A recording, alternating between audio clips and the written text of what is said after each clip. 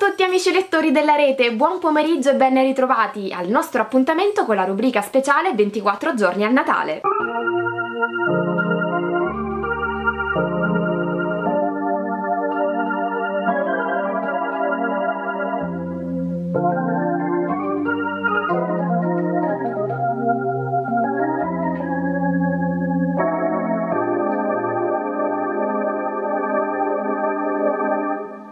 Questo dodicesimo episodio ho pensato a Harry Potter perché non potevo esimermi dal suggerirvi Harry Potter in questa rubrica natalizia. Poi quando si tratta di suggerirlo c'è sempre tempo e spazio, però rimuginavo e mi dicevo quante volte ne hai parlato con i tuoi lettori, quante volte lo hai consigliato in tutte le edizioni, cartonata, brossurata, pop-up, illustrata, giapponese, manga, graphic novel. Quindi cosa trovare di alternativo per comunque promuovere la bellissima saga intramontabile adatta a sognatori di tutte le età, sognatori concreti di J.K. Rowling.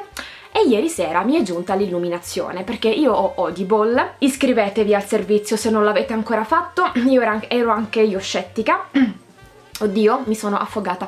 Ero anche io scettica, poi quando mi sono iscritta e ho testato per la prima volta gli audiolibri mi si è aperto un mondo di possibilità, un modo diverso di avventurarmi nelle pagine di un libro, che comunque restano pagine perché vengono letti i libri così come sono stati scritti, con l'aggiunta dell'interpretazione, quindi la voce rievoca in maniera ancora più viva la forma, l'identità dei personaggi e delle vicende narrate. Quindi ho Audible Ieri sera volevo ascoltare qualcosa e ho detto scarichiamo l'audiolibro di Harry Potter la pietra filosofale letto da Francesco Pannofino. Trovate eh, fino al terzo volume della saga in audiolibro sempre letti da Francesco Pannofino che sta facendo un lavoro magistrale eh, poderoso perché insomma mano a mano che si va avanti eh, saga, i volumi della saga assumono un corpo sostanzioso, una mole notevole, però Francesco Pannofino è attore, doppiatore di gran classe ed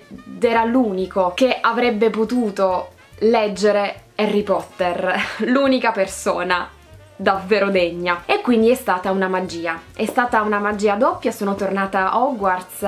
Il primo audiolibro di Harry Potter e la pietra filosofale dura forse 4 ore se non mi sbaglio o qualcosa di più.